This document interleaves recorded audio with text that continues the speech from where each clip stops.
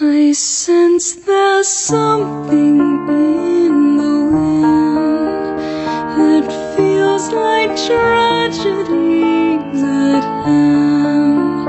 And though I'd like to stand by him, can't shake this feeling.